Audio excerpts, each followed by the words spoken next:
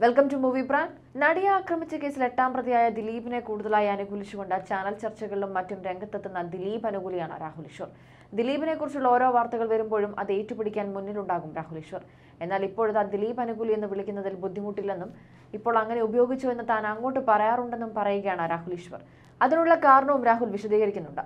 ദിലീപ് വിജയ് ബാബു ഒടുവിൽ സിവിക് ചന്ദ്രൻ കേസിലെല്ലാം ആരോപണ വിധേയർക്കൊപ്പമാണ് രാഹുൽ ഈശ്വർ നിന്നിട്ടുള്ളത്. ഇതിന്റെ പേരിൽ പല ട്രോളുകളും രാഹുലിനെതിരെ ഉയർന്നിട്ടുണ്ട്. ഇത് സംബന്ധിച്ചുള്ള ചോദ്യത്തിനാണ് രാഹുൽ മറുപടി നൽകിയത്. ദിലീപ് പക്ഷമെന്നോ സിവിക് പക്ഷമെന്നോ എന്ത് പേര് വെച്ചാലും തനിക്ക് പ്രശ്നമൊന്നുമില്ലെന്നും രാഹുൽ പറയുന്നു. ഇപ്പോൾ താൻ ദിലീപ് അനുകൂലി എന്ന് വെക്കാൻ അങ്ങോട്ട് വിളിച്ച് പറയാറുണ്ട്. എന്തായാലും നടി ആക്രമിക്കപ്പെട്ട കേസിൽ ദിലീപ് ജയിക്കുമെന്ന് എനിക്ക് ഉറപ്പായി. ആദ്യം ആരും അദ്ദേഹത്തെ പിന്തുണയ്ക്കാനില്ലായിരുന്നു. അദ്ദേഹത്തിന്റെ ഭാഗമാണ് സ്വയം ഇത് മറ്റൊരു വിഷയമാണ്. എന്നിരുന്നാലും ഇത്തരം പേരുകൾ അലോസരപ്പെടുത്താറില്ല. ജനാധിപത്യത്തിന്റെ സൗന്ദര്യം എന്നത് വാദപ്രതിവാദങ്ങളും ചർച്ചകളുമാണ്.